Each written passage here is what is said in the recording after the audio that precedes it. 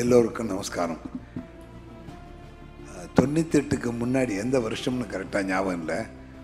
அப்போது எலெக்ஷனுக்கு சில மாதங்களுக்கு முன்பாக எங்கள் கடைக்கு பக்கத்தில் அடுத்த வீடு என் கூட படித்த மாணவன் விஸ்வநாதன் இருந்தான். அந்த வீட்டில் மாடியில் ஜனா கிருஷ்ணமூர்த்தி இருந்தார்.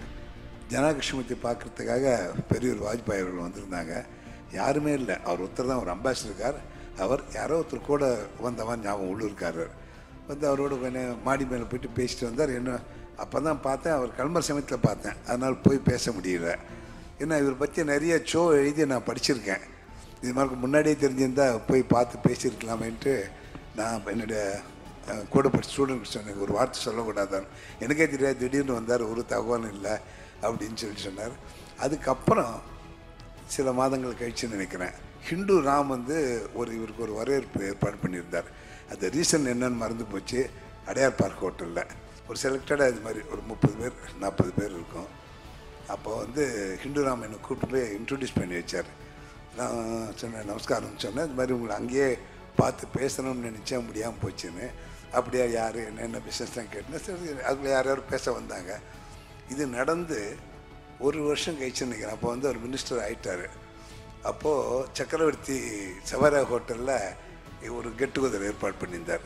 எல்லோரும் வந்திருந்தாங்க. அன்றைக்கி அன்னைக்கு வந்து அந்த டேபிள் அது டின்னர் சாப்பிடும்போது அட்டல் பிஹாரி வாஜ்பாய் பெரியவர் எத்தாப்பில் எல்கே அத்வானி யார் இருந்தாலும் மறந்து போச்சு.